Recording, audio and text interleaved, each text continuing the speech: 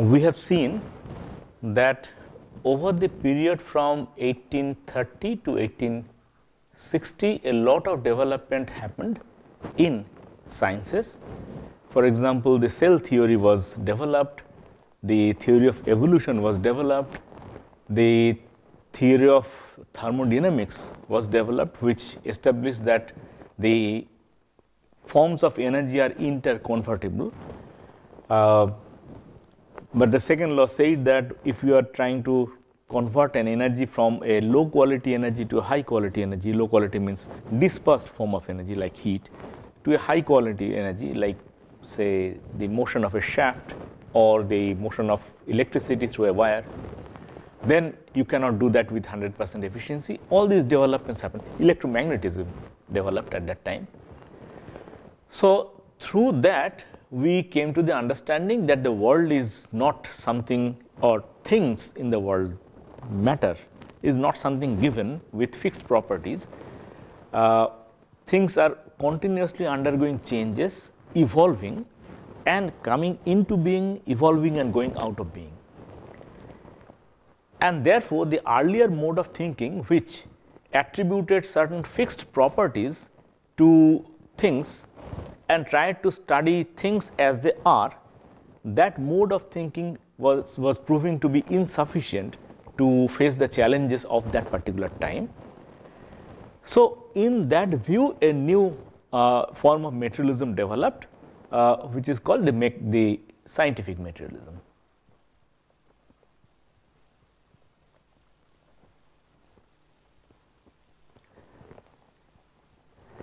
And scientific materialism said that uh, we should not focus on studying things, rather we should focus on studying processes. And the world is therefore a, a complex of processes in which things are coming into being and going out of being and evolving. And therefore, the, the emphasis shifted to the study of the processes and in studying the processes, people realize that the whenever we are talking about change, for example, the biological evolution, in that case there are uh, both quantitative small changes and also qualitative large scale uh, fundamental changes. For example, speciation event is such a uh, such a qualitative change.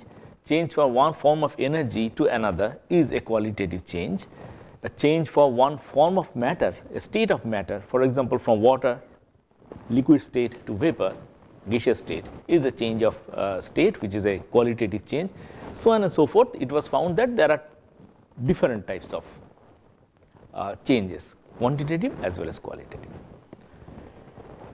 And in studying the changes, people realize that in anything there are two opposing tendencies and in order to understand the reason for the change, the causal connection, uh, you have to establish those, you have to understand those opposing tendencies and if something is stable uh, for some time more or less static, then this the, the fact that it is stable needs to be understood by the balance of the two opposing tendencies. So, you can write an equation and when the balance is disturbed and you, you have a change evolution then also that has to be studied in terms of if it is a physical system in terms of uh, differential equation and in the right hand side still you have the balance of forces. So, studying the, the two opposing tendencies, the contradiction between the two opposing tendencies became the center point of study in uh, sciences and through that science was progressing. But in that period in the period now we are talking about a period when uh, around 1860 to about 1900 that period if we consider then we will found find that there was a scientific materialism that was uh, providing the basis of scientific investigations. But at the same time another tendency developed, another philosophical current developed which is called positivism.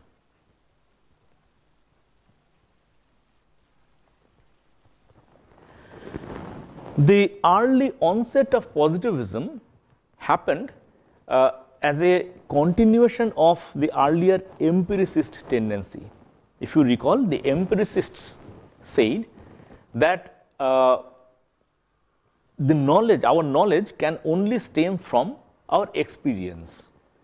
Our experience is the basis and therefore, uh, we have to, we have to, the foundation of all knowledge should be experience, empirical knowledge.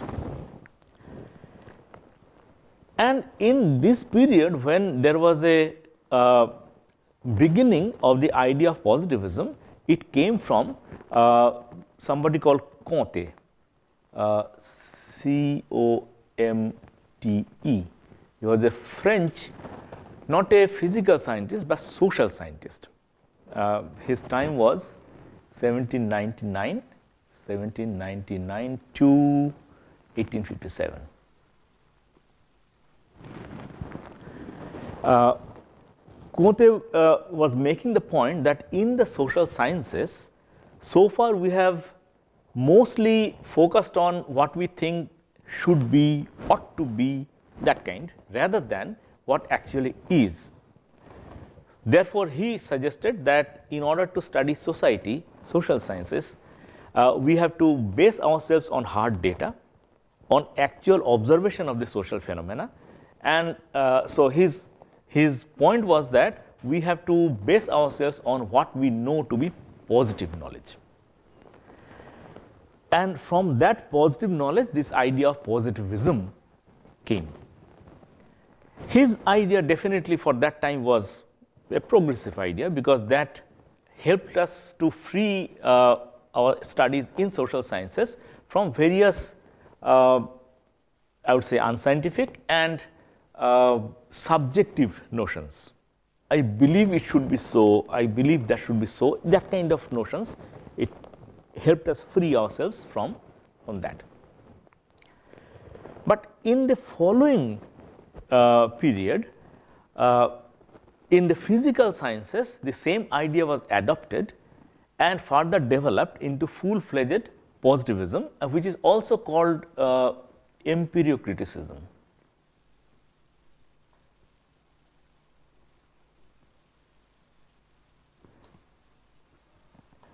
This was developed by uh, Richard Avenarius.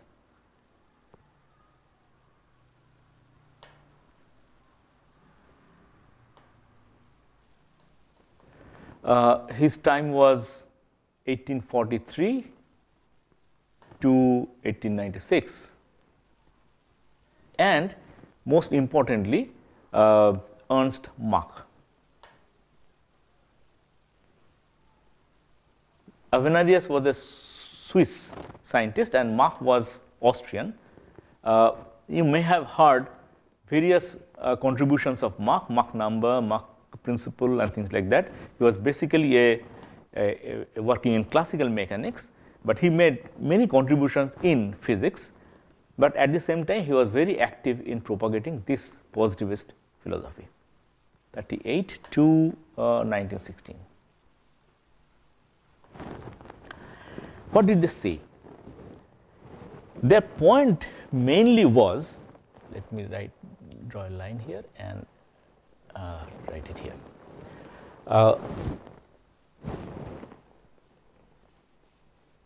the point mainly was that uh, our knowledge about anything should be based on uh, our experience that was the empiricist position but the, the point of the the empiriocriticists or positivists was that it cannot transcend the boundaries of our experience.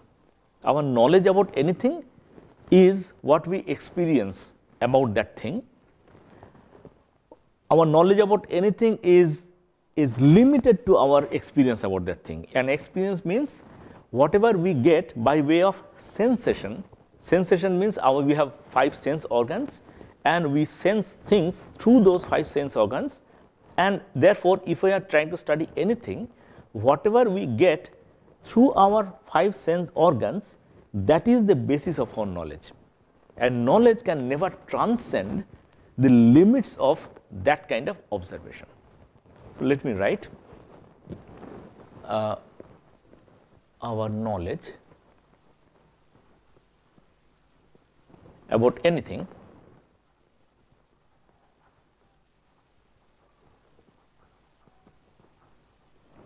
anything is nothing but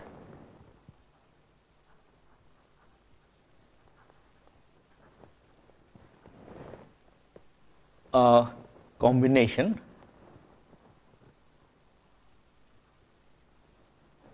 uh, of sensations sensations received from that thing.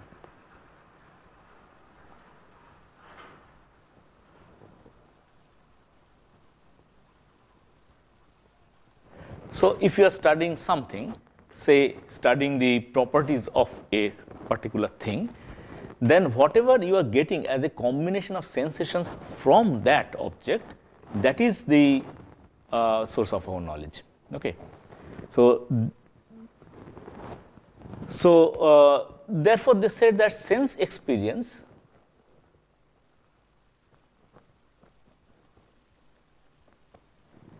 is the, the only reliable uh, source material.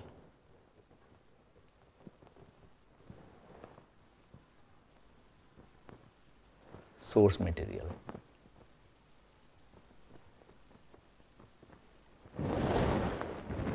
Uh, and on the face of it that uh, is scientific because that is what your positive knowledge about that thing comprises and uh, they they stressed on the importance of uh, that they stressed on the strict adherence adherence uh, to empirical data.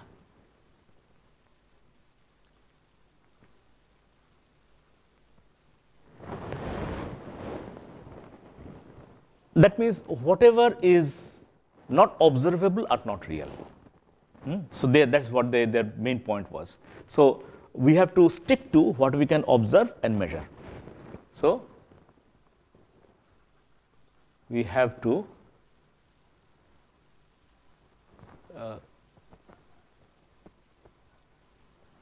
to what we can observe and measure.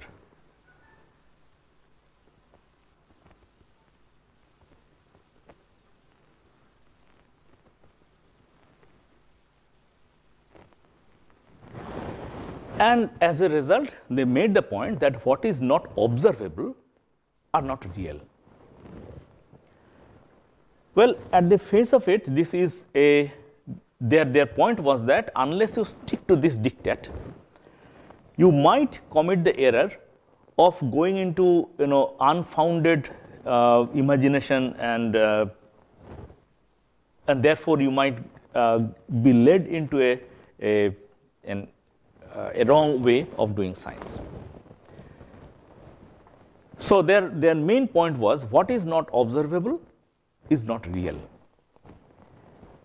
And since they stuck to the point of uh, the observability, therefore their point was that whatever we can observe, we should limit our, our task of science is essentially to, to uh, to chronicle, to record whatever is observed and then relate these uh, observations and limit your knowledge to whatever we can observe. Don't go beyond whatever we can observe because that is where metaphysical abstraction will come and it is not uh, going to lead to proper science.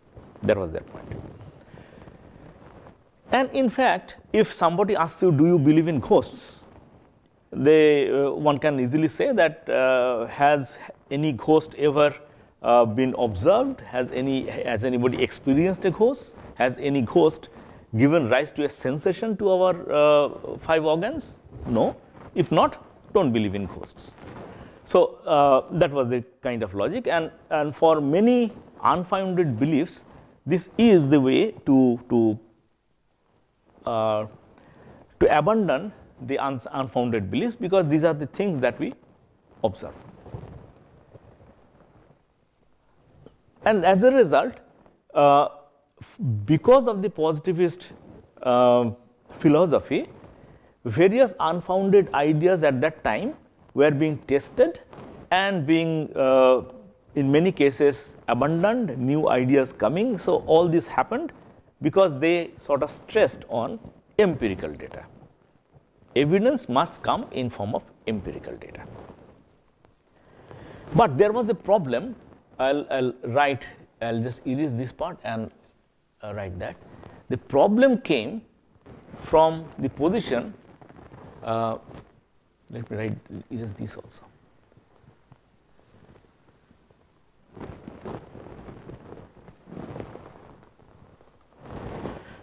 So, uh,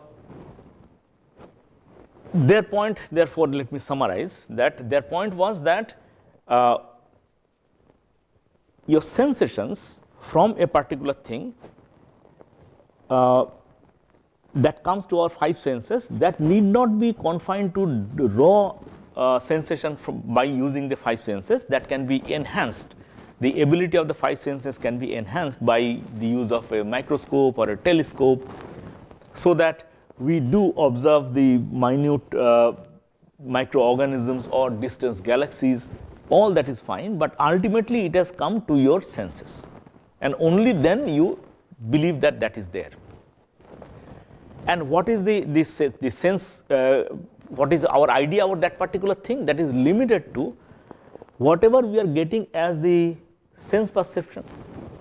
And therefore they did not even believe in the existence of the I, the existence of the, that matter uh, independent of our sense perception from that matter. They only believed in, they said that ultimately what is coming to us? The sense perceptions. We are touching, we are feeling, we are seeing and through that we are uh, making, making some idea about that particular thing and therefore what ultimately is true for us, what is positive knowledge? The sense perceptions and we really do not have any positive knowledge about the thing itself. And therefore, they, they, uh, they did not believe in the idea that matter exists independent of our consciousness. For them, matter is what comes to us through our sense perceptions. And as a result, uh, and then what consists of our sense perceptions in science? Uh, Arthur Eddington, another famous physicist, he said that uh, it ultimately boils down to the pointer readings. When we are a physicist, we are physicists and what, what we really measure, what we really observe are the pointer readings. So, what we can really record is that the pointer moved from this point to this point and that is what we can ultimately record and we cannot really talk about what is the physical thing which is giving rise to that movement of the pointer because that is what we do not observe directly. What we observe is that the pointer moved from this point to this point. Uh, this philosophical uh, viewpoint, positivism, actually held sway among scientists for a long time. For about 50 years, it was the main plank of philosophy. The major problem happened in the area of statistical mechanics. And in order to explain what uh, problem it caused, let us start from a little back uh, from the time of John Dalton. Around the first decade of the 19th century, 18, uh, probably it was around 1810 or so, John Dalton uh, proposed. Uh, it was not a fundamentally new proposal because the ancients like Leucippus, Democritus and in our country Kanada also conjectured a similar thing that if you break keep on breaking a piece of matter ultimately you will get further unbreakable indivisible particles and they called it atoms. Additionally, uh, Dalton said that there are only a few only a few species of atoms and whenever some chemical reaction happens it's basically the atoms are hand holding with each other reacting with each other and that helped chemists to, to, to understand the ratios in which various substances take place in chemical reactions. Uh, and so, chemists started using Dalton's idea, the Dalton's atomic theory, but the physicists said that have you ever seen an atom? Have you ever uh, seen a molecule for that matter? And if you have not, then actually there is no reason to believe that they exist. It is only a, a, a part of our imagination. It might help chemists to, to, to imagine things, but that is not real, it is imaginary. What is not observed is not real. And therefore, the physicist community in totality refused to believe in the existence of atoms and molecules. But at the same time, I say that these two currents, the current of positivism and the current of scientific materialism were going side by side and there were some uh, scientists who believed in that, some scientists who believed in that. And uh, for example, there were some scientists who believed in the existence of molecules and then start they started building theories on the basis of that. Uh, so, uh, among that I'll, I'll, I'll take the name of August Kronig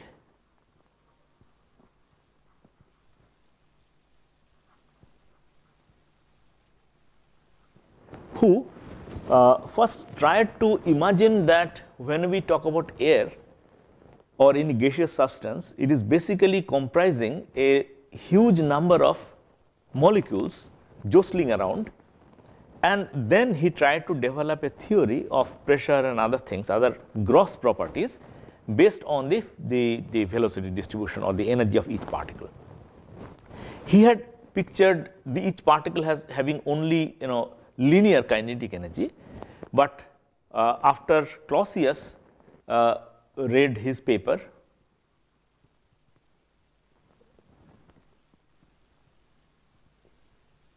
Clausius read his paper, he uh, further developed it, developed it uh, assuming you know rotational motion and other kinds of motion of those molecules. And uh, when again Maxwell read Clausius's paper, uh, he developed it further and developed what is uh, the famous Maxwell distribution of molecular velocities. Again Boltzmann developed that uh, idea further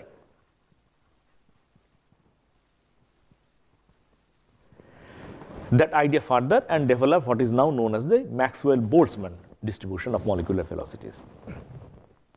Notice that all these people were basing their theories on the assumption that molecules exist. Yet the physicists were telling that molecules don't exist because you have never seen a molecule. And therefore, there was a contradiction between these two uh, groups. And uh, even though Clausius's theory on thermodynamics, Maxwell's theories, uh, theory on electromagnetism were accepted, but when they were talking in terms of statistical mechanics, these were not accepted. Uh, and uh, Boltzmann was in particular, particularly targeted, criticized, uh, his papers were not accepted in journals, he was not allowed to speak in conferences, so it was, it was a very bad situation for especially for Boltzmann because Boltzmann was focusing on developing statistical mechanics. And uh, I mean Clausius had other uh, planks for him. Uh, Maxwell had developed other theories for which he was well known, but Boltzmann's focus was on statistical mechanics and he did enormous contribution in statistical mechanics, but none of them were accepted because the physicists said that you are basing your assumption on something that actually does not exist. It is only a figment of imagination. Boltzmann was so crestfallen, so dejected by this, you know, by the refusal of the physicist community to accept the work of his lifetime that in the end he committed suicide. So, uh, that was the situation when we come to the turn of the century.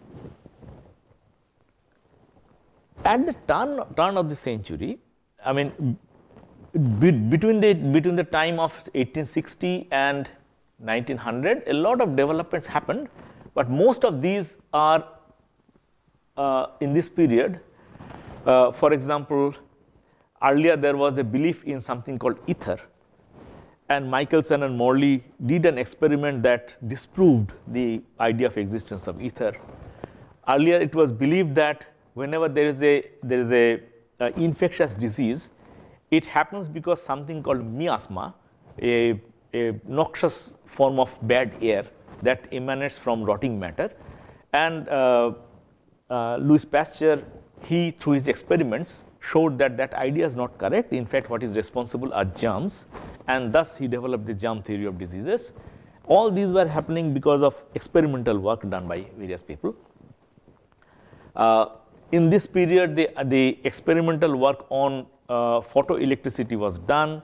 In this period, the, in, the, in the area of uh, engineering, the whole of electrical engineering, the DC and the AC power supply system, generation, power distribution, lighting, all that was developed. Internal combustion engines were developed. So, a lot of developments were happening, but most you will find that were of the type of uh, some dispelling earlier beliefs or uh, some experimental work, but important theoretical works of the standard of what Maxwell did for electromagnetism, what Clausius did for thermodynamics, for what Darwin did in uh, biology, that kind of theoretical development practically did not happen in this period. And uh, historians are rather surprised to see that in this period is somewhat barren of uh, major theoretical developments. And later we understand that that was because uh, the dominance of positivism, because they their their point was essentially that limit yourself to what you can observe, experiment, and limit yourself what you can see, and do not develop it any further beyond what you can observe.